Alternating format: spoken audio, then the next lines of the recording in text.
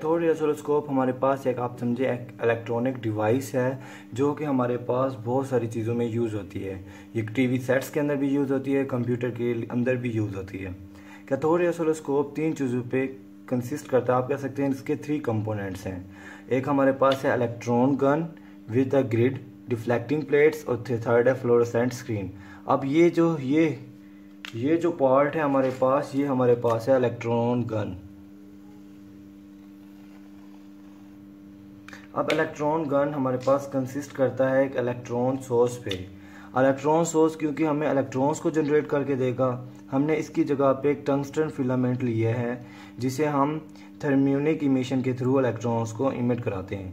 ہم کیا کرتے ہیں، اس کیتھوڈ کو الیکٹریکلی ہیٹ کرتے ہیں بائی گیونگ سکس وولٹ اور zero point three ampere current تو کیا ہوتا ہے کہ اس کی سرفیس ہیٹ اپ ہو جاتی ہے اور اس نے الیکٹرونز کو ایمٹ کر دینا ہے۔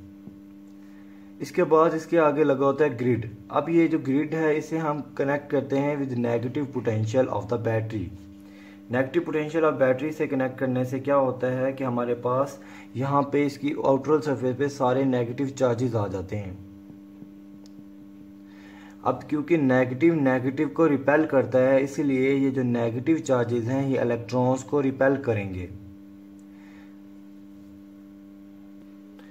ہم جتنی نیگیٹو پوٹینشیل کو بڑھاتے جائیں گے، اتنی الیکٹرونز یہاں سے ریپیل ہوتے جائیں گے۔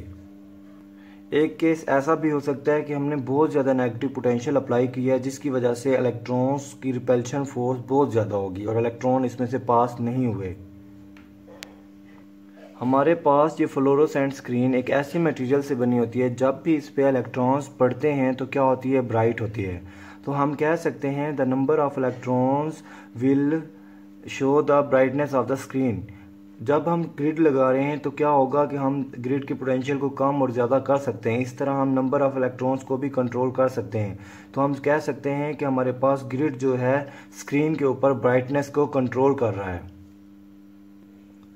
اب اینوڈ ہمارے پاس positive potential of the battery سے کنیکٹڈ ہوتا ہے۔ تو کیا ہوتا ہے کہ اس کے اس کے سرفیس پہ پازیٹیو چارجز آ جاتے ہیں، جو کہ ان الیکٹرونز کو کیا کرتے ہیں؟ اٹریکٹ کرتے ہیں اٹریکٹ کرتے ہیں۔ اور کیا ہوتے ہیں؟ یہ الیکٹرونز موو کرتے ہیں ٹو ورڈز اینوڈ تو ہم کہہ سکتے ہیں اینوڈ کا یہاں پہ یہ کام ہے کہ وہ الیکٹرون کو ایکسلریٹ کرتے ہیں اور اپنی طرف اٹریکٹ یا اپنی طرف فوکس کرتے ہیں۔ اس کے بعد ہمارے پاس ہوتی ہیں ڈیفلیکٹنگ پلیٹس اب یہ جو پلیٹس ہیں، یہ ہاریزنٹل پلیٹس ہیں اور یہ ہمارے پاس ورٹیکل پلیٹس ہیں۔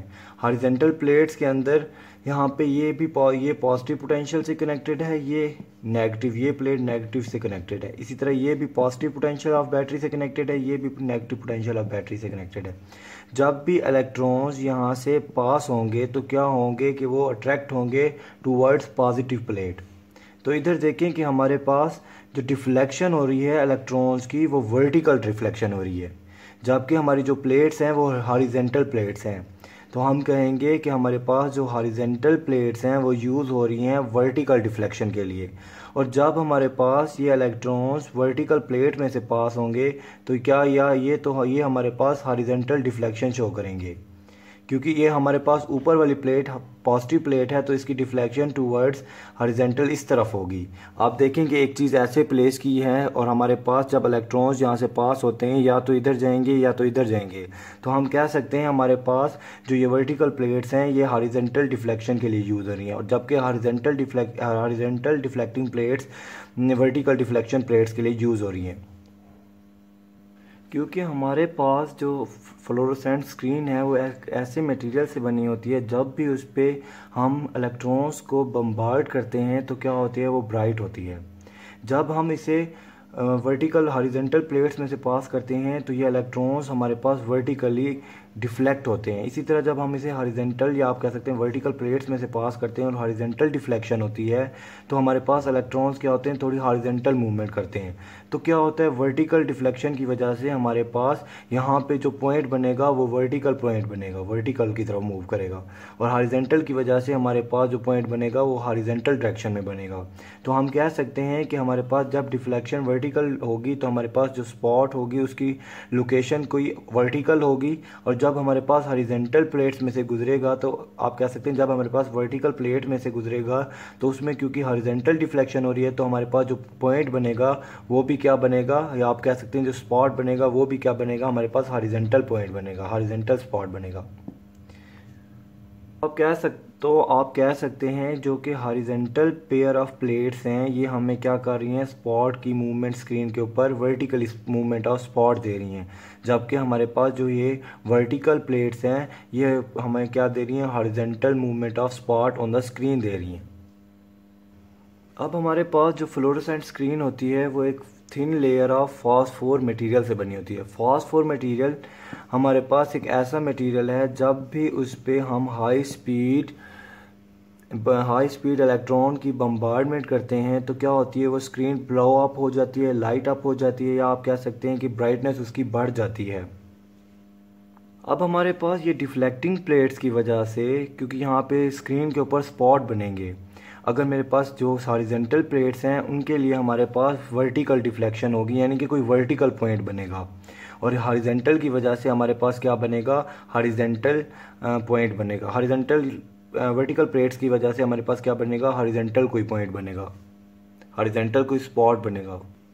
اب ہم نے جو سکرین پر ہوتا ہے، ایک centimetre graph superimpose کیا ہوتا ہے یہاں پہ۔ کوئی چھوٹا سا سینٹی میٹر میں ہم نے گراف سپر امپوز کیا ہوتا ہے۔ اب دیکھیں، جب بھی میں یہاں پہ بیٹری کے پوٹینشیل اپلائی کرتا ہوں ایٹ ہاریزنٹل پلیٹس تو میرے پاس جو پوائنٹ بنے گا، وہ کیا بنتا ہے؟ ان ورٹیکل ڈائریکشن اور ہمارے پاس، جو ہمارے پاس ہاریزنٹل پلیٹس ہیں، اس میں ورٹیکل اور جو ورٹیکل پلیٹس ہیں، اس میں جو ڈیفلیکشن ہو رہی ہے سپورٹ کی موومنٹ ہو رہی ہے، وہ کیا ہو رہی ہے؟ ہاریزنٹل ہو رہی ہے۔ آپ سمجھیں کچھ اس طرح۔